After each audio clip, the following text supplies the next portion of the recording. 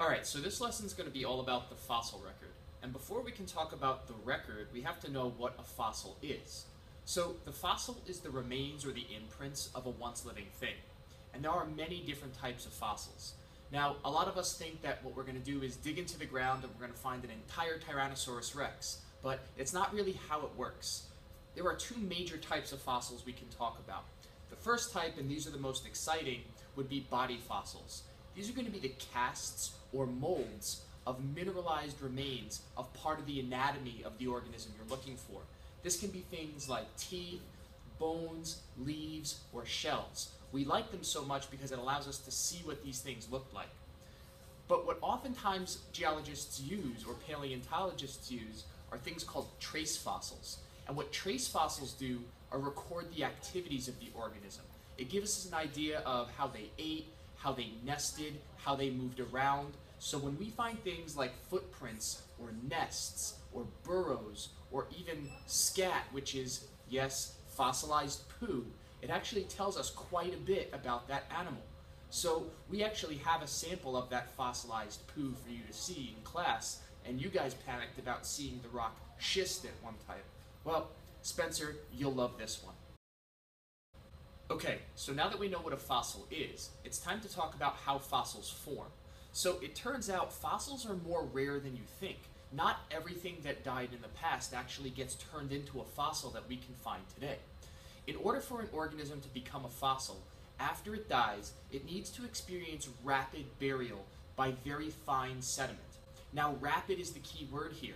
Once something dies, it's going to begin to decay and things are going to eat it, and the environment is going to scatter its remains to different places. So we need to have that sediment layer drop on top of our remains as quickly as possible. So once these rocks start to form, layer upon layer will build up. And there are two laws about sedimentary rock that's going to be really important with respect to the fossil layer. The first is called the law of original horizontality. I know that's a mouthful, but what it's basically saying is layers originally start by being parallel stripes on top of one another.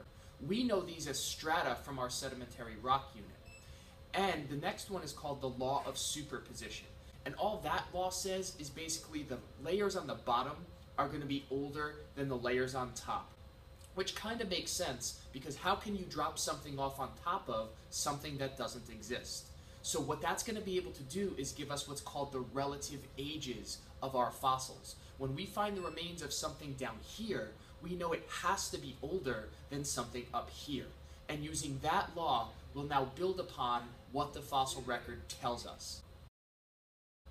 Okay, so here comes big idea number one. Now that we have superposition in place, and we know that the guy down here is older than the guy up here, it's time to make some observations about those fossils that we see.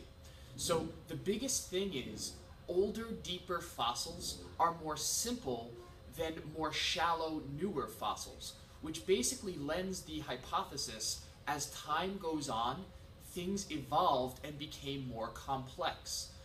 Which then says if I've got something old and simple down here and something new and complex up here, then somewhere in the middle, which we would call intermediate, we should see some gradual changes taking place. And guess what? That's exactly what we see in the fossil record. We're actually able to see ancestors and descendants sharing some sort of common lineage in the layers in between where we find their fossils. Alright, here's big idea number two with the fossil record as evidence for evolution. Transitional fossils show evidence that old and new forms of life are actually related to each other. So there are a couple of big boys when it comes to the famous fossils we've pulled out of the ground, and the first is known as Archaeopteryx. Archaeopteryx makes the link between a chicken and a Tyrannosaurus rex. Well, maybe not that specifically, but at least between today's modern birds of prey and ancient dinosaurs. So what we can see in Ar Archaeopteryx is that it has a beak, it has feathers, it has wings, and it has the wishbone that we all fight over on Thanksgiving. But what it also has is a full mouth of teeth, a long bony tail, and claws on its wings that were actually still used to grab its prey, both indicating that it has traits of the dinosaurs and today's common birds. So, for those of you who think whales are fish, think again. Whales are mammals. They do not have gills. They, in fact, have lungs and breathe air. They also give birth to live young, which they nurse and have tiny little hair on their bodies. So, these odd, gigantic mammals actually give us another really great transitional fossil example for evidence of evolution. So, we have these ancient whales called Ambulocetus and Dorudon. And what we can see in these fossils are the makings of what used to be a land mammal making its way into the oceans because it gave it a competitive edge for food. Believe it or not, whales actually share common ancestry with the hippopotamus. So if we took a look at Ambulocetus, which is a really ancient version of the whale, what we can start to see is a four-legged land animal starting to shorten its legs and starting to get very enlarged hands and feet, which would later become flippers for paddling in the water. And when we take a look at Dorudon, what we can actually see are the nostrils, which started out on the front of its head, working its way back on its skull, and will eventually become a blowhole, which the whales now use to breathe. In addition, Dorudon, on the far end of the back of its tail, has little vestigial remnants of legs, which its ancient ancestors have. In fact, if you were to take a look at a lot of whale species today, their skeletons still show that evidence of vestigial hind legs. Clear evidence that what we have is an evolved mammal from an ancient ancestor. Alright, at this point I know what you're thinking. We've talked about birds, we've talked about dinosaurs, we've talked about whales, we've even talked about a hippo. And what you're probably saying to yourself now is, what about us? If humans are going to go through the same evolution as all other organisms, then shouldn't there be something in the fossil record that points to that? And the answer is absolutely. If we take a look at our ancient ancestors and their fossils that we pull out of the ground, starting with things like Australopithecus, which we found trace fossils that showed us they went from walking on four legs to standing up and being bipedal, which means they walk on two legs. We can then go into other types that have large teeth, they have more powerful jaws. We start to see us becoming omnivores. And then our most recent ancestors, guys like Homo habilis and Homo neanderthalis, what we see in their fossils are that they have larger brains and we start to get artifacts for the first time. These guys made tools. They had opposable thumbs. They were able to hunt and farm and do things that we today are able to do.